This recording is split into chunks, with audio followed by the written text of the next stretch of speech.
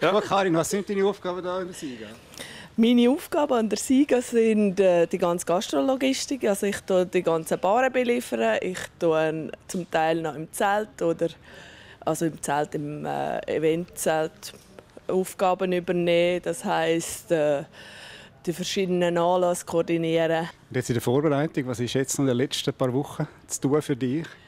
Also das ist die Abmachung, was wird weiterverrechnet. Also ich tue eigentlich Getränke einkaufen, tue es dann weiterverrechnen. Dann ähm, ist, sind gewisse Events, die ich muss organisieren muss, wo jetzt einfach die, äh, ein Brunch zum Beispiel für 1300 Leute, dann es sind einfach so verschiedene Aufgaben, die anfallen. Die grössten Herausforderungen? Dass ich alles an, dass ich niemanden vergesse, dass wir vor Ort, wenn wir alles transportieren müssen, ist es natürlich nicht gar so einfach. Man muss schauen, dass man Abwaschmaschinen herum hat. Man muss schauen, dass äh, gewisse für die Aperitifs gewisse Sachen herum sind. Also das sind einfach so verschiedene. Und auf was freust du dich am meisten an der Sieger?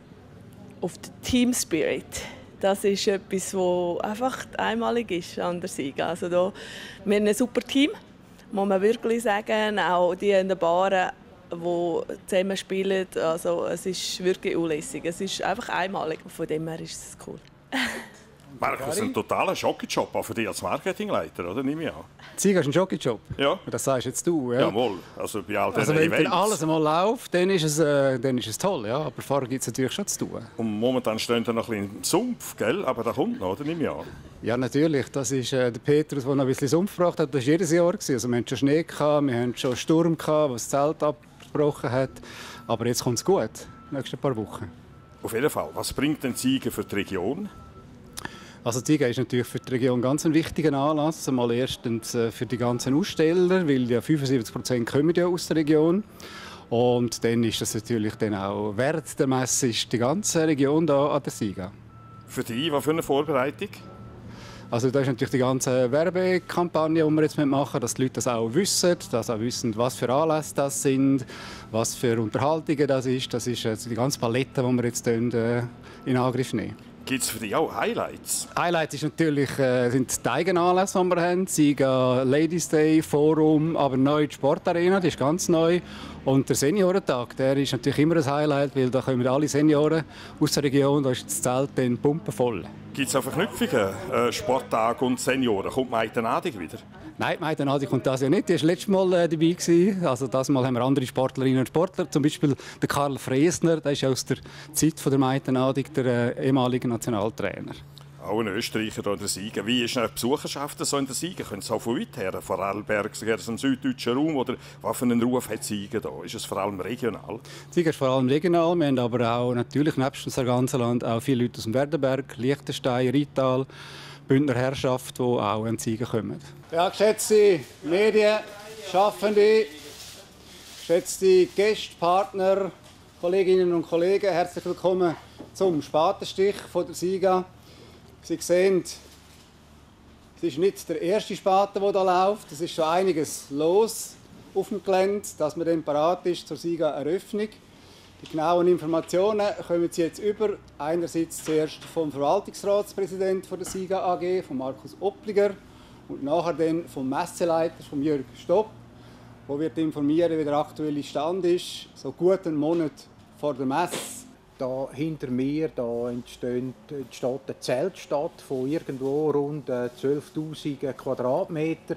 Das gibt wieder ganz äh, äh, eine angenehme und schöne, schöne Geschichte. Und äh, wahrscheinlich äh, sind, ist das ja auch in den Vorgesprächen unter euch schon thematisiert worden. Für uns wäre es natürlich wirklich schön, wenn wir auf dem Platz einmal einen befestigten Untergrund könnte haben, wo man dann äh, angenehmer könnte bauen. Aber das ist jetzt leider äh, nicht so.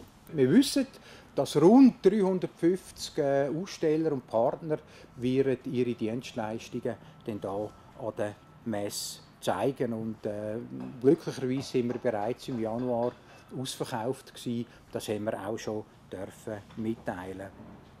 Dann äh, ganz äh, wichtige Säulen, und da darf ich auch einige, äh, die da drinnen sitzen, äh, ansprechen, sind natürlich unsere Sponsoren und Partner. Ohne die könnte man so ein grosses Unterfangen, wie die Siegermesse mittlerweile ist, gerne machen. Und, ähm, ich, ich, möchte anfangen mit äh, unserer Messepartnerin, St. Galler Kantonalbank, die uns schon seit vielen Jahren unterstützt. Dann haben wir äh, drei Hauptsponsoren und äh, zwei, zwei, davon äh, sind heute unter uns. Das ist einmal äh, Käppeli, wo äh, für den Aufbau eine ganz äh, große Rolle spielt und äh, die Lehner Akustik, wo die ganze Eventtechnik dann äh, für uns tut, umsetzen. Und äh, last but, äh, but not least sind wir natürlich auch angewiesen auf äh, Medienpartner, die uns da unterstützen im Bekanntmachen und im Verstreuen von ganz positiven Elementen der Sieger und dafür auch euch ganz herzlichen Dank.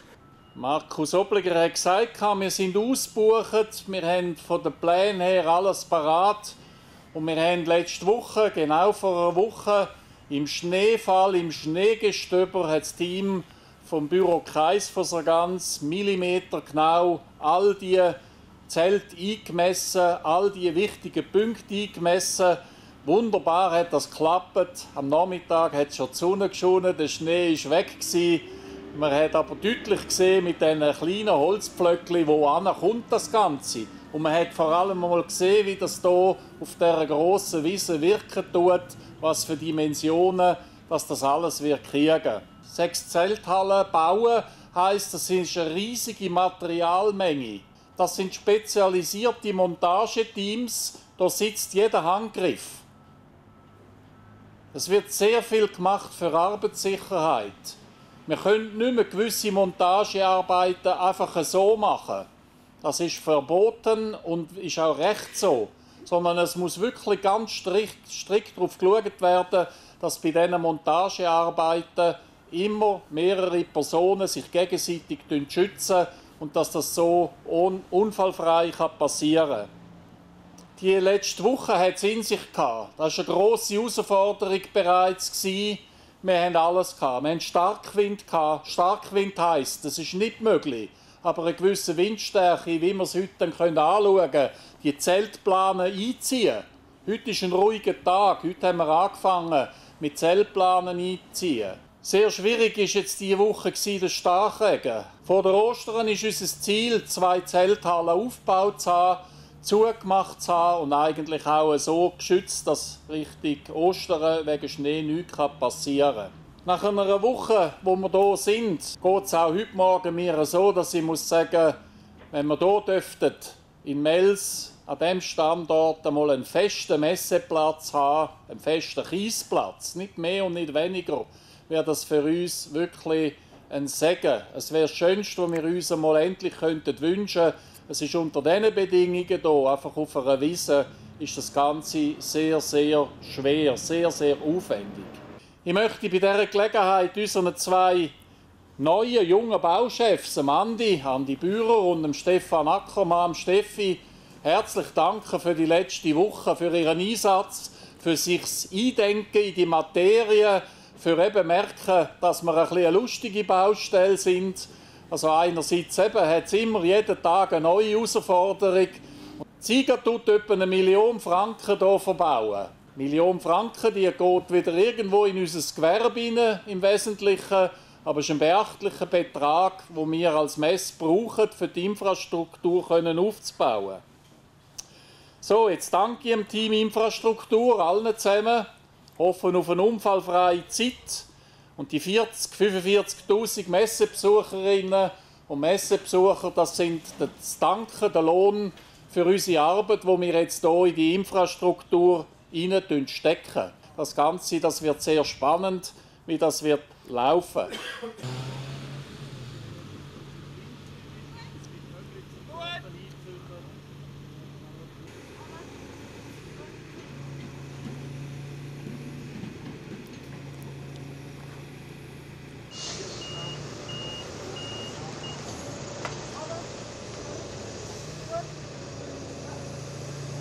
Gut, herzlich willkommen. Wir sind auf dem SIGA-Gelände. Wir sind an den Aufbauarbeiten für die SIGA 2023.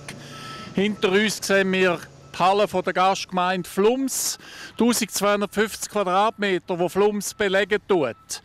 Ist jetzt die aktuelle Phase ist das Einzüchen von Zeltplanen, das Befestigen vom Zelt und heute Nachmittag werden wir anfangen Böden in das Zelt und die Wände schliessen so dass wir ein stabiles, wetterfestes Flumser Gastgemeindezelt haben. Danke.